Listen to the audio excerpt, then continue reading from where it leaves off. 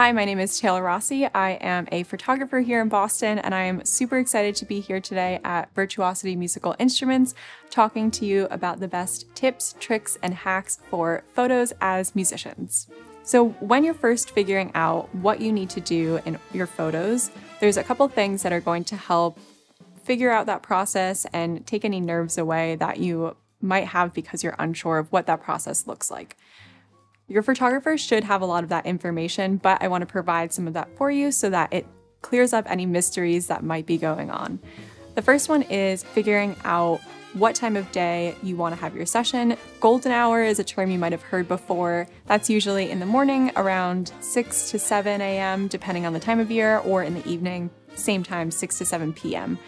If you are not a morning person, do not sign up for a morning session. There is a beautiful golden hour that happens later in the day that is absolutely an option. If you do like waking up really early, there is a beautiful time of day for that. And it can be really nice because most people aren't awake at that time and you might have some more privacy, especially if you're doing photos outside in a typically populated area. The next thing that you want to think about is what you want your outfit to look like. In terms of patterns versus solids versus prints, I always, always encourage people to wear solid colors. You can even see that I'm wearing that now. That's because any kind of textures that'll be in the background, so it might be leaves or even the texture that's on cement or brick, is creating a bit of a distraction already, and you don't want to have too much going on in your photos. You want to be the focus of your photos, taking away any kind of distractions possible. So having a solid color I even recommend if you're wearing something like this where you have a jacket or a sweater on top, making both of them solid colors. The way that you can add some variety and little um, glam to your photos is through jewelry or the way you style your hair, or you could add one little fun element. So maybe it's you have really colorful shoes, or you could have a pattern on your shoes, something like that, where it's not the entire outfit, it's just a small part of it. You also want to make sure that you feel really comfortable in what you're wearing. So making sure that you're trying on all of your outfits beforehand, making sure that nothing is see-through or if there's any straps that are gonna be really finicky, you wanna make sure that everything is really comfortable feeling, nothing is going to be bothering you during your session. I'm one of those people that also needs to cut the tags off the backs of shirts because it might be super itchy. So just making sure that you're trying things on, it feels comfortable, that you can move around in it in a comfortable way too. So it's not causing any sort of distraction or making you nervous during your session. Depending on how much time you have for photos, I always encourage you to have more than one outfit. That could be something simple like adding a jacket on top of something or a sweater or just a little accessory to add some variety. But if you have more time in your day, having a total outfit change can be really helpful. One, to increase the time that you're using your photos for. Instead of sharing the same photos over and over and over again with that same outfit, having another outfit can make it seem like you've taken multiple photo shoots when you've actually just taken one and had an outfit change. I've also had the experience where I thought for my own photos that this one outfit was going to be excellent, it was going to be so good, and then I wound up loving the other outfit more. So you just never know how things are going to convey in your photos. So having that other option can be really helpful. Depending on the relationship you have with your photographer, asking them for their opinion can be really helpful too, just to get a second eye and seeing how they think it's going to photograph. For a lot of people, having their photos taken, especially for the first time, can be a really nerve wracking experience, and you want to feel as comfortable as possible. Your photographer should hopefully help with that process, but there are some things that you can do to make sure that your experience is a really positive one. I think just knowing that it might be something that feels really vulnerable and knowing that that's a possibility is helpful. Also, knowing that you might feel really sweaty before, and that's okay. Everyone experiences that, and there's nothing wrong with that. First of all, thank you, Photoshop, for existing, but also knowing that um, hydrating before a lot, taking some time in the morning or before your session to just feel really calm can be really helpful. I also like to spend some time stretching before because Many of us sit at a desk all day or we're just commuting, and so our posture can be really hunched over or just really tight.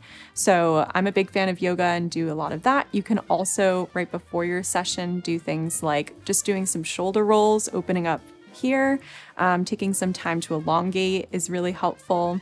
Most things that I see for people in their photos when they're having them done the first time is a lot of kind of slightly hunched over. Their neck might not be as long. They're a little bit short in their hips. So just taking a moment to think really tall.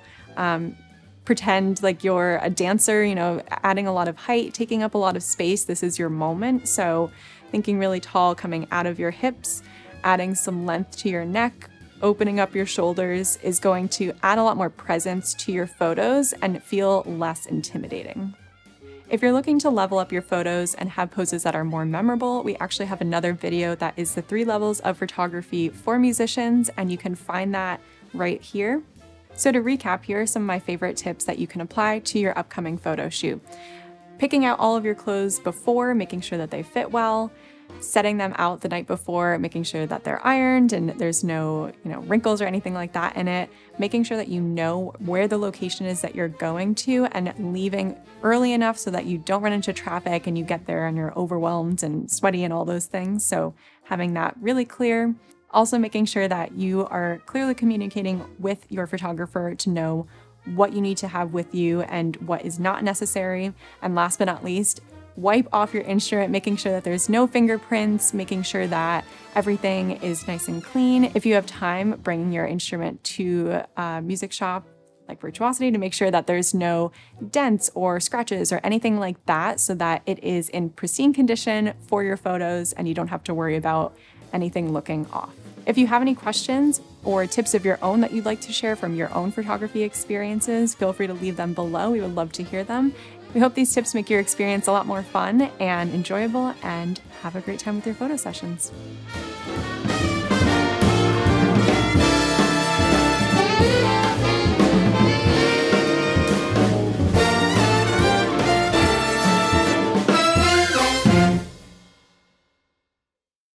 is already creating some sort of um,